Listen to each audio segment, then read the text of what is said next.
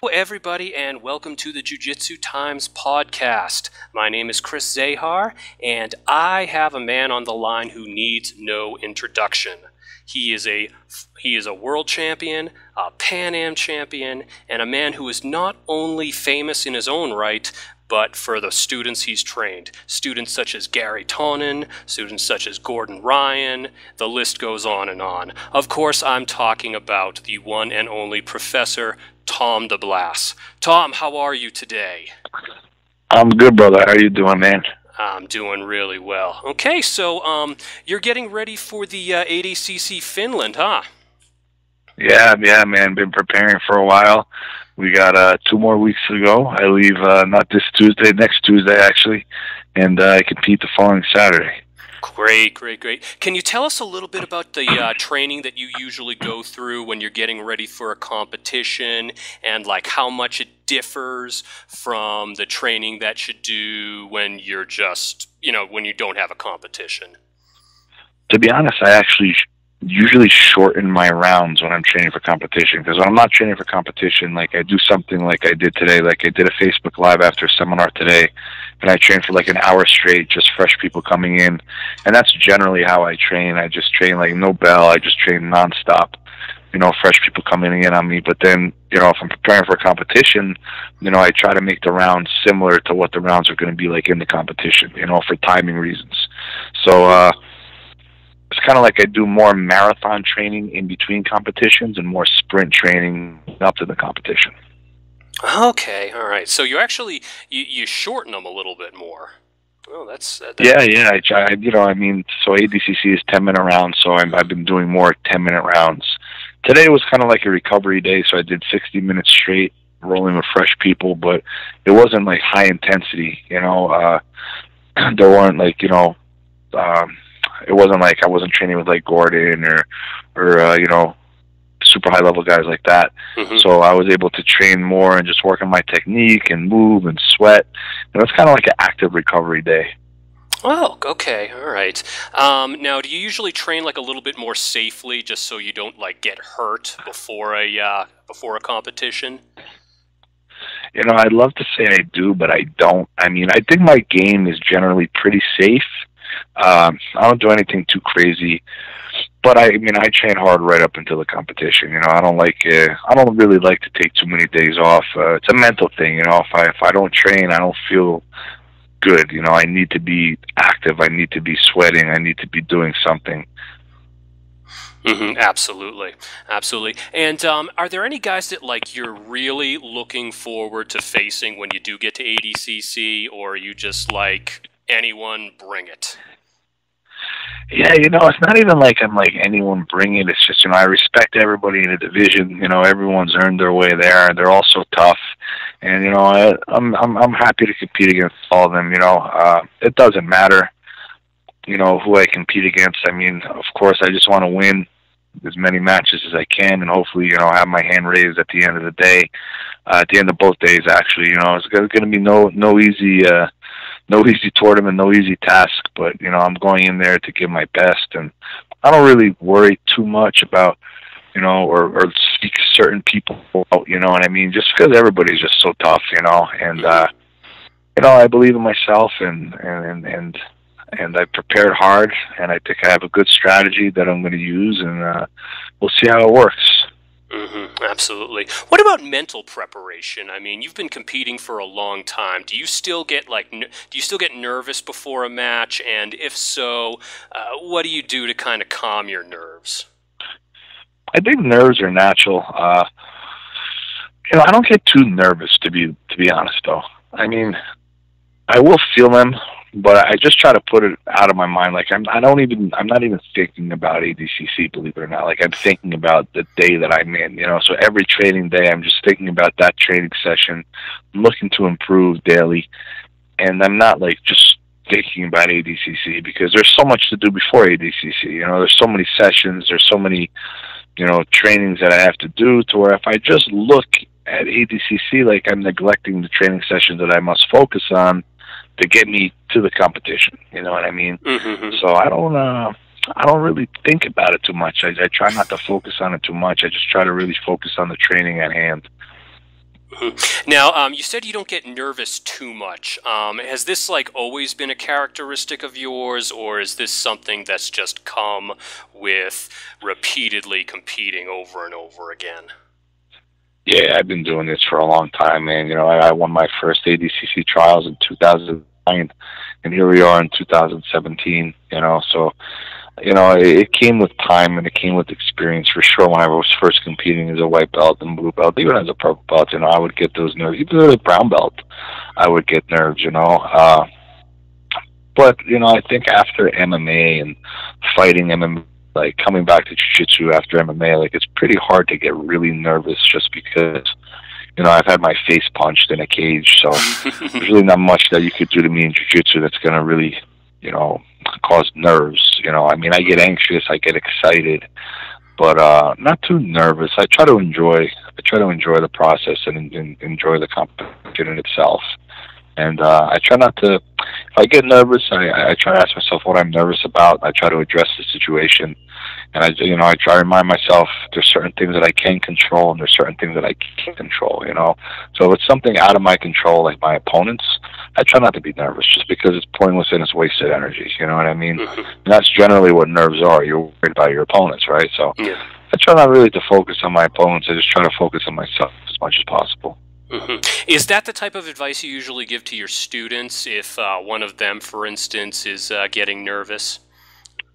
Yeah, I tell my students, remember, it's just jujitsu. You know, like it's something we're able to do every day. You know, it's we're able to simulate the actual competition every day. Like we can't simulate MMA. You know, like MMA training is not an MMA fight. You know, as intense as it is, it's not an MMA fight. You're not elbowing each other in the face with no pads. You know what I mean? Mm-hmm. Jiu-jitsu, you could keep the intensity just at a you know the same intensity as you would a competition. So I mean, why get nervous? It's just something we do every day. It's just a chance to do it against different people. And in my case, it's a chance to do it, you know, against the best in the world. And and that's where I've been now for for many years. You know. Mm-hmm. Uh, do you ever do you ever encourage your students to go out and maybe train with other instructors and uh, train at other gyms just so they kind of get, you know, so they're just not rolling with the same people all the time? Because um, you know some some jujitsu instructors they do get a little jealous. They're kind of like, oh, what are you training with that instructor down there for? No, you're only allowed to train at my gym. Um, what's your uh, feelings on that? I think it's funny just because we have our team. You know, oh. if you're anywhere in the East Coast, I mean, uh, why would you really want to train with anyone other than us? You know, it's me, Garry Tonon, Ricardo Almeida, Renzo yeah. Gracie, John Danaher, Gordon Ryan. I mean, you have you know some of the best guys in the world right here so I don't really feel my students seek out other academies to train at. I mean, maybe you know they'll stop in an affiliate academy because Garry has his own school, Ricardo has his own school, Renzo has his own school, of course, I have my own school. So between our associated schools, like you pretty much got all you need. I mean, we got people from all over the world traveling just to train with us. I, you know, I had a guy from Australia training with me this week. Uh, you know, he was uh, at Renzo's the week before. This happens often. You know, people come from all over the world. They stop at Renzo's and they stop at my gym, and uh, it's something that that you know I feel my students are very lucky and blessed to have so many world class instructors. You know, on our team. You know what mm-hmm. I mean? Mm-hmm. So that's something I really think about or I don't really care about it. You know what I mean? But uh, I've I've honestly never had a student that said, "Oh, I want to go to a different affiliated school to train," because I've had students stop at Garry's. You know, I've had students stop at Renzo's and Ricardo's, and that's welcomed. You know. Uh, so it's not something that I really ever even dealt with, just because our kind of we have a lock on, uh, you know, mm-hmm. East Coast Jiu-Jitsu. You know, it, it's we're uh, we're pretty pretty solid, pretty strong. Mm-hmm. And just so our um, just so our uh, listeners and readers know, um, where is your school again? I'm in Forked River, New Jersey, so it's kind of like the Jersey Shore, uh, like southern, like central South Jersey. Mm-hmm. Okay, Great. Now, um, you mentioned, of course, you mentioned, of course, Renzo Gracie, and uh, that actually leads to my next question. Um, a couple of months ago, there was a huge war between um, uh, Renzo Gracie, Danaher Death Squad, and uh, Dillon Danis over some, you know, rather colorful things that uh, Dillon said about uh, Renzo and Renzo's students and all that stuff. Um, of course, recently Garry Tonon um, beat um, Dillon Danis at Polaris. And um, after the fight, they shook hands. They seemed to make up. Their tempers seemed to have cooled. So, what I want to know is um, even after uh, everything Dillon said about Danaher Death Squad, about Renzo, and about you personally, um, have your feelings towards him cooled at all? Or are you still really like, don't come near me, Dillon? I don't want anything to do with you? Uh, I don't really have nothing to say to him. I'm not gonna toast with him, and I'm not gonna sit down and have dinner with him. You know, if he wanted to apologize to me, that would be welcomed.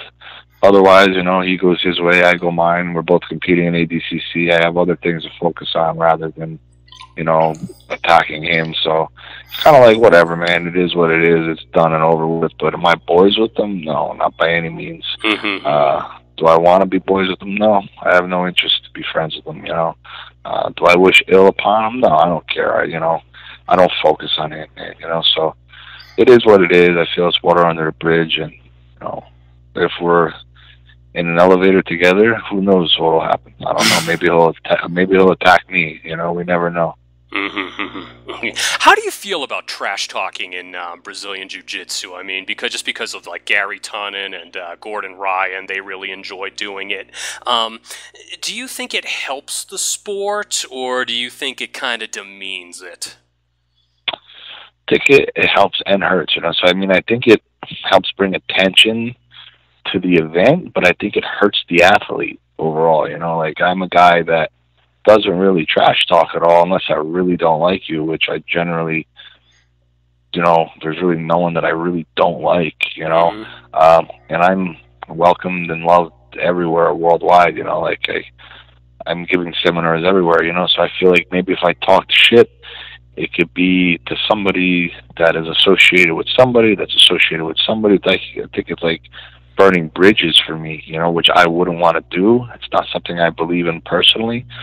Uh, if people want to do it, it's up to them. You know, I know it sparks some excitement. You know, mm-hmm. I think Garry's toned it down, and you know, he talks trash, but I think he does it in a more of a respectful way now. Uh, I think Gordon still has a lot to learn. Mm-hmm. You know, about his social media presence. You know, uh, he's just a boy yet. You know, so for me personally, I don't, uh, I don't really agree or not that I don't agree. It's just not something that I would do personally. You know, if I'm going to talk shit, it's because I really don't like you. You know, and, and even then, if I really don't like you, I really don't want to talk shit. You know what I mean? Like I'd rather not talk. Uh, I'd rather see the person face to face and you know maybe talk to them face to face. But talking online for me is just is this punk shit. You know what I mean? Mm-hmm. It's not the stuff that I do. I'm I'm a 35 year old guy, man. You know, and I've been I've been in this game for a long time, and not even not only jiu-jitsu, you know, I've been fighting since I've been four years old. You know what mm-hmm. I mean? Mm-hmm. So it's like there's nothing. I don't really talk. You know, like yeah, not what I do. I, I I try to get along with everybody and respect everybody. Now you said you've been fighting since you were four years old. Uh, what do you mean by that? Do you mean like a school? Like I've, I've had my first fist fight at four years old. You know. Oh so it's something that I've been exposed to my entire life, you know. Like yeah, yeah, I've been scrapping for for a long time, man. You know, so fighting for me is as normal as uh, you know most people, you know, brushing their teeth in the morning. It's just something that is uh, it's the normalcy for me, you know. Mm-hmm. Uh, you know, I'm in a much different place in my life now, but you know, I mean, the, I'm a fighter at heart. You know, it's what I it's what I've been growing up doing. It's it's uh I've done it professionally. I'm still competing at the highest level in jiu-jitsu. So mm-hmm. it's never, uh, you know, you could put a lion in a in a zoo, you know, but you let him out of that cage and he's gonna he's gonna do lion shit. You know what I mean? So yeah. it's like, you know, I'm very re- re- reformed and I'm very uh, well spoken and kind. But if you know, for sure, I have that that other side within me. You know. Mm-hmm. Absolutely, absolutely. Now you've competed in MMA and and uh, Brazilian Jiu Jitsu.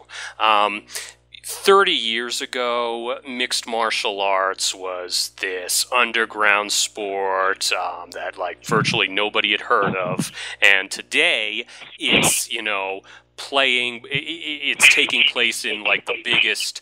Um, the, the, the biggest stadiums in the world, like Madison Square Garden, for instance. Um, do you think Brazilian Jiu Jitsu will ever get to that point? Uh, I think it's growing more and more. I don't know if it'll be where MMA is, but I think it's growing more and more, and I think it's more and more entertaining, and more and more people are understanding and knowing about it. Mm-hmm. You know, so I think it has a, it has a chance. I don't think we're anywhere near close to it being where like the UFC would be, simply because people love violence. People love to see people being hurt, and that's what MMA does. That's what that's what mixed martial arts does. In jiu-jitsu, generally people walk away without being hurt, you know. Mm-hmm. And it's an art that people must understand in order to really appreciate it. And if you don't understand it, it's hard to appreciate it, you know. So I think it could be difficult if you look at things for reality, you know, for what they really are. You know, if people don't understand jiu-jitsu, they don't really know what they're watching. People don't need to understand MMA to understand somebody's getting punched in their face. Mm-hmm. You know, and and that's they love to see. They love to see blood. They love to see people being people hurting each other. You know. Mm-hmm. Do you think um, like certain types of jujitsu, for instance, uh, nogi jujitsu, or the um, the type of jujitsu that you see at EBI, would have a better chance of becoming a spectator sport than, say, gi jujitsu, which is typically a lot slower? I mean, it depends on, on who the fighter is. You know what I mean? Mm-hmm. Like some some gi matches are like crazy exciting. You know what mm-hmm. I mean? And some EBI matches, like competitors are learning more and more how to just stall the first ten minutes and do absolutely nothing, and then win in overtime, and that's getting boring now. You know, at first it was a little bit more exciting. So it really depends on the fighter, I think. You know, mm-hmm. I don't think it's necessarily one style. I think it really depends on the person's. Like you know, like Garry can't be in a boring match. Never. Like he's just never in a boring match. Um, whether it's gi or no gi, like his gi match against AJ was exciting as hell. You know mm-hmm. what I mm-hmm. mean? So yeah. it really depends on the fighter. You know. Mm-hmm. Mm-hmm. Uh, I mean, do you think? Do you also think that maybe rule sets can affect that uh, fighter's excitement, though? Yeah, because fighters play to the rules, you know, as they should. So, absolutely, fighters play to the rules, and I think rule sets can affect it. Uh, but at the same time, it's a catch twenty two because in submission only, I mean, people are just you know, if it's just simply submission only, people aren't going balls to the wall from the beginning because they're worried about preserving their energy. You know what I mean? So mm-hmm. I think every rule set has good points and bad points. You know, and I think it's just it's just par for the course, man. You know, it's a catch twenty two. Mm-hmm. It really uh, where where some rule sets are benefiting, at the same time others are, are you know not benefiting. That other one may be benefiting, and the other one might be not. So it really depends. Mm-hmm. Absolutely. Okay. Um, the last thing I wanted to talk to you about um, was I don't remember how long ago it was, months ago maybe. Uh, you made headlines both inside and outside of the jiu-jitsu community for a uh, confrontation that you had at a uh, what was it, a Walmart or something? Um, yeah, yeah, Walmart. Yeah. Uh, can you tell us a little bit about the events leading up to that? Like, uh, what what happened there? Yeah, so it's like it's hard for me to be around confrontations without either breaking it up mm-hmm. or like being in it. Mm-hmm. Like I, I, there, it's I can't just watch a fight happening. You know, it's I, I don't I can't do it. So I walked in the I pulled in the Walmart and this guy he was following another guy like talking a lot of shit and the the guy that he was talking shit to clearly didn't want any part of it. So I was like, Hey man, you know, like relax. It's not happening when I'm here, you know what I mean? walk away, like just walk away, you know. So he walked away, mm-hmm. and when he walked away, I guess he walked over to like Walmart, like where the entrance was, and as I was walking in, I see this guy, like he has his shirt off and he's like pacing and like, you know, I'm like, is, he, is this really happening? Like, uh, like, like he's like coming after me, you know, like because even if you don't know who I am, like I'm generally not the type of guy that you look at and like you want a confrontation with. You know, I'm definitely. I'm six foot, two hundred and twenty five pounds. You know, like I'm I'm a fairly rough looking dude, and uh, I guess he he was in the mood. You know, so I I started. You know, it was funny to me. For me, again, it's not. I don't get it, nervous or excited in the street. You know what I mean? Like if I if I'm gonna get if someone wants to throw down me in the streets, for me, I'm not. uh I don't get pumped up. I you know I think the shit's funny. You know, so if we're gonna do it, we're gonna do it.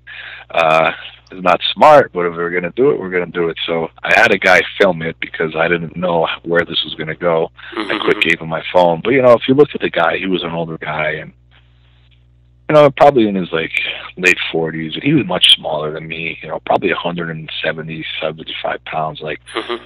I already made the choice. I made the decision that even if I had to put my hands on him, like if he attacked me throwing punches, I wasn't going to throw a punch at him. I was just going to mm-hmm. use, you know, I was going to grab him and you know hold him, but not even slam him because again I'm experienced, man. You know what I mean? Like I'm not. I, I don't need to lift somebody and slam them on their head and possibly kill them. You know, so I just would have gently taken him down, and, and when I say gently, I would have squeezed the life out of him. but uh, you know, I didn't. I, I tried to avoid the situation. I kept distance. I you know didn't let him get close. And then when I grabbed his hands, uh, I think that's when I, when he realized you know, like what he was dealing with because I have a exceptional grip, man. My grip is really, really strong and mm-hmm. and when I grabbed his arms, like even though I was talking very kindly to him, I was I was I was grabbing I was grabbing him intensely, you know, and I think kinda then he's like, Oh man, like there's something not normal about this guy, you know. So I was able to talk him down and and not have any confrontation and you know, it ended with the hug and felt bad for him, man. You know, like I mm-hmm. didn't want to hurt that guy. You know, there, there, mm-hmm. there's nothing I mean, maybe if you would have spit on me, that would have really pissed me off. You know I mean? But even this guy, if he if he ended up hitting me in the face, like you know, I've I've never been dropped before. I could take a pretty good punch, you know. So mm-hmm. for me, I was it was no big deal. You know, if he was now if he was 25 years younger, and he was you know a 220 pound guy, I think maybe that could have went a little differently. You know, and it also depends, you know, what kind of mood I'm in. Like I'm not claiming to be a saint just because this happened people need to understand like this doesn't mean it's always going to happen with me. Like i was in a good mood. I wasn't uh i wasn't irritable you know what mm-hmm. i mean? Like i just won my fight to win against Ricco Rodriguez like the day before you know? And it's like uh he called me in a good good mood you know? I'm not always in a good mood you know? So it's like uh it it it, it you know it really depends. I'm just thankful in that situation i was able to you know handle it with without you know aggressing him or physically imposing my will upon him because I don't want to hurt nobody, man. You know, unless mm-hmm. they deserve to be hurt, and I don't think he deserved to be hurt. You know what I mean? Mm-hmm. Absolutely, absolutely. Um, you know, nowadays, uh, thanks to the internet, there's all these like street fight videos going around, and um, makes me sick, man. It does. Yeah, I was actually going to ask you about that. Uh, give it. Can you give us some of your thoughts about that? Yeah, I can't even watch it, man. It makes me sick to my stomach just because I feel most of it's like not fair. I feel like these guys are just inexperienced and like when they knock somebody out or when somebody gets hurt, they follow it up with like, you know, 10 or 15 unnecessary strikes. And it's just, it literally makes me sick to my stomach. I don't watch it. You know what I mean? Like, like there's a few things to happen in, in, in a fight with me if it happens. Like number one, I'm definitely to break my hand mm-hmm. on somebody's face 100% and then when i hit their face i'm going to break their face you know what i mean? Yeah. but i'm not going to follow up with 10 to 20 unnecessary punches you know what i mean? It's just that just shows immaturity. That just so shows not even like lack of compassion. It just shows that you're like a mental child you know what i mean? You you don't know like it just shows how much you don't know about fighting. You know what I mean? Like mm-hmm. there's no need to, to to do that to somebody unless listen, this person hurts your family member. This person does something to really deserve it. You know what I mean? Like mm-hmm. anyone touches your kids, of course, man, then you're gonna kill them. You know? Yeah. But it's like I don't like these street fights, man. When people are hurting each other, I, I just wish people would stop hurting each other. There's no need. They're fighting for what? For for free. They're not getting paid to fight, and they're hurting each other for for what? You know what I mean? To prove a mm-hmm. point, you know, to be on World Star. I mean, come on, man. Like, I wish everybody got along more, you know, because I think uh so many people have something to prove, you know. I have absolutely nothing to prove, you know. So that's why I, I try to avoid confrontation at all costs. Now, it's different. Like if you're a professional fighter and you're running your mouth to me, Mm-hmm. if you're experienced and you're running your mouth to me, well, now you're not you're not just a, a civilian. You know what I mean? Like Yeah. then there could be some issues, you know. Uh, so it, it it really depends, man. But I I hate the street fight videos that are out. Hmm No, I absolutely agree. and exposing our kids it's exposing our kids our teenagers to too much it's just becoming normal to them Mhm. you know and it's just this this violence is not even cringeworthy to these people anymore to me it literally turns my stomach man you know Absolutely. No, absolutely. I totally agree. And it also, you know, I mean, you got some kid, he's like, oh, I want to get my 15 minutes of fame. I'm going to go out and fight with some other kid and, you know, risk my life or whatever. So, yeah, no, I absolutely agree with you on that.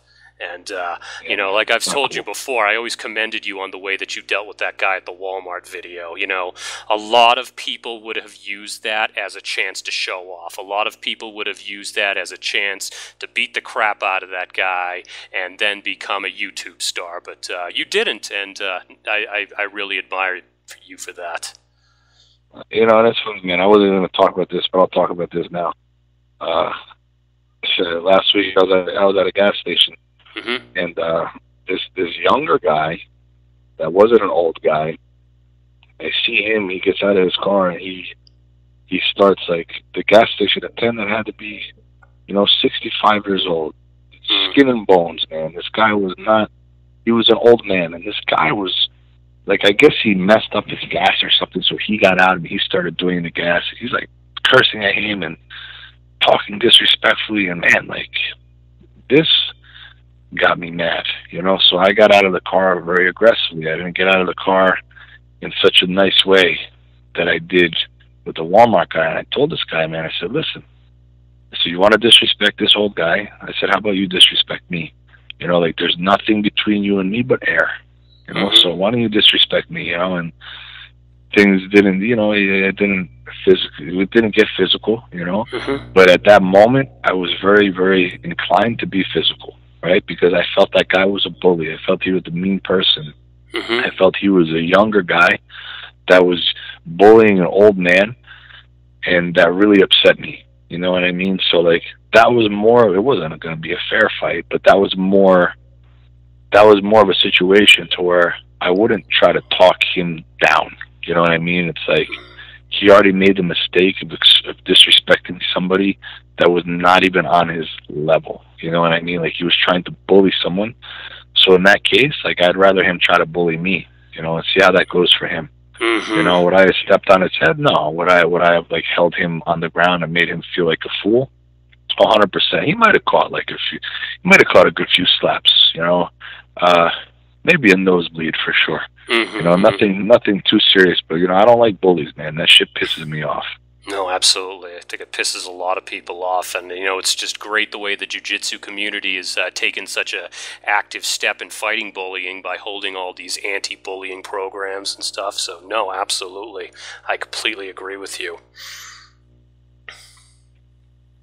Yeah, I mean, it's it's something that needs to be handled. You know, people say, "Oh, you know, everybody uh, everybody's too soft nowadays." Well, not everybody's built to be a fighter. Mhm. Not that everybody's soft, and if everybody's soft, oh, so so okay. So why is it that the bullies, if they get slapped across their mouth, what's the problem then? Yeah. You know what I mean? If they want to bully, they should be able to get bullied back. You know, like Mhm.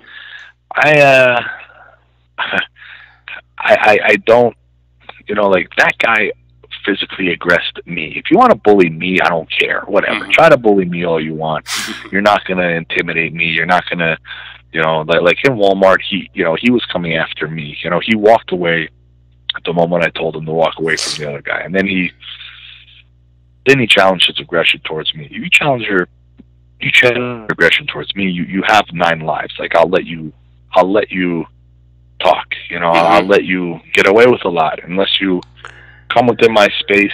Unless you really, really, really push me, you're gonna be able to get away with a lot. But if I see you attacking somebody else lesser than, you're not gonna get away with too much. You know what I mean? That's just not the way. Uh, it's not the way I work, man. It's not the way I've ever worked. I don't. I don't care what people say. I don't care what people think. If I see somebody you know, that is like we saw that one that one the one YouTube video that I loved. The one kid was punching a blind kid, and out of nowhere, this dude came and leveled him. I saw He that. punched yeah. he punched the life out of this kid, you know. Yeah, yeah. And I was so happy to see that, you know. That made me that made me happy, you know. What I don't like is like you know the, the punching of the blind kid made me sick. But then as soon as uh as soon as the other kid hit the guy that was punching the blind kid, I think I like I ate an ice cream or something. I got so happy. Hmm I, do, I do know the video you're talking about. Yeah, absolutely. Absolutely. Okay, uh, one last question.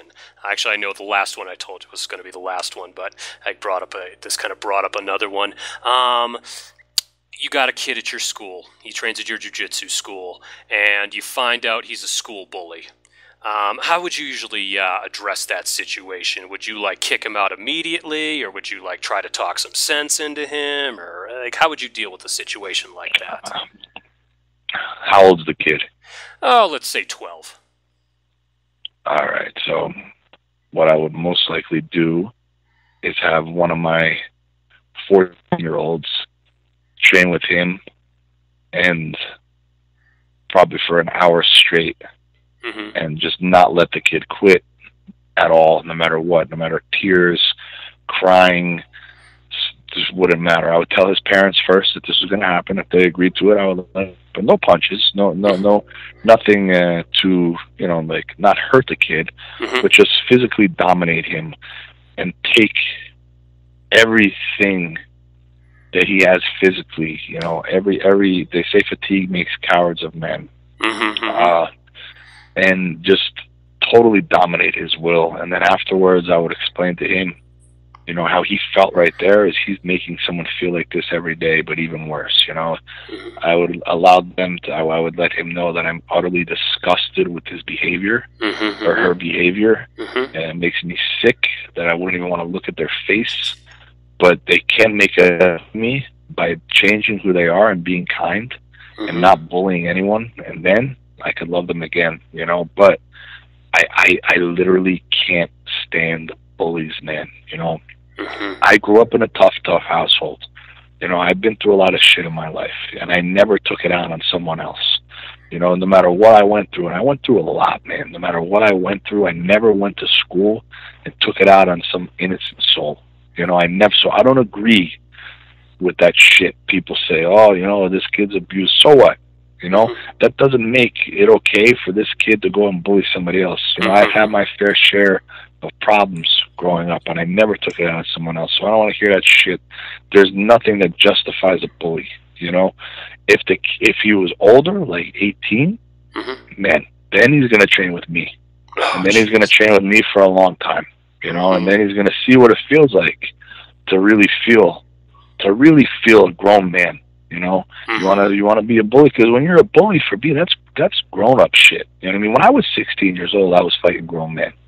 You know, I was 16 years old. I was throwing down guys 25, 26 years old. Oh, wow. You know, so at that time for me, once you're 16, man, for me, I was I was fighting men. You know, at 14, I started knowing that I could fight with men. You know, hmm so if you're say, man, like you're gonna have a big problem. But you know, at my school, that's not gonna happen because the culture in my school is so anti-bully, hmm and it's such about so much about kindness and helping people, and you know, being the kind kid. I can't imagine a kid in my school bullying somebody. I literally can't fathom it. You know, because we teach kindness is such a such an instilled quality in my children to where you know I, I allow them to understand how how bad it can make someone feel. You know, like uh, you know, I wasn't bullied as a kid. I never took no shit, but you know, there's times I went to school just feeling like so horrible from other things going on in my life. You know, like the last thing that I needed to deal with was another little prick making me feel bad about myself. You know, and for me, it's just not something that uh, not something I tolerate. Or or what I would do is I would make them watch a video of a, of another kid committing suicide, and make them watch another human being die. I'd make them watch another human being take their life. I make them watch somebody putting a razor blade across their wrist and cutting their skin, and and You want to be a bully? Are you willing to be the reason why somebody does this to themselves? Mm-hmm. Could you watch another human being die? Because that's what you're trying to do when you're bullying people. It's real shit out there, man. The world's fucking real, and people don't want to. T- people don't. You know, everybody wants to be tough. Everybody wants to be a bully, but no one wants to watch another man die. No one wants to. It's too much for them, right? Well, why is it too much for you? Why is it too much? If you want to be a bully, you should be able to watch. There should be no problem. You know, so mm-hmm. Yeah. I'm very much a realist. You know, mm-hmm. let's see what happens when. What's the consequence of your actions? Mhm. So what I would do is I would make them see the. I would make them feel what it feels like to be bullied, and then I would make them see what the consequence of them bullying somebody is. Yeah. Because kids are taking their lives every week. Kids are killing themselves every week because of bullies.